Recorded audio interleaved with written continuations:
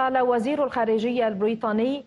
للبرلمان اليوم إن بلاده ستطرح مشروع قرار في مجلس الأمن الدولي لحماية الهدنة في اليمن بحيث يتم التصويت عليه في وقت لاحق هذا الأسبوع. وأوضح أن اتفاق وقف إطلاق النار في الحديدة الذي اتفق عليه الطرفان المتحاربان خلال محادثات في السويد الأسبوع الماضي هو هش للغاية لكنه صامد حتى الآن وسيؤيد مشروع القرار مشروع القرار شروط الاتفاق ويمنح الأمم المتحدة صلاحيات مراقبة تطبيقها ووضع خطوات عاجلة لتخفيف الأزمة الإنسانية.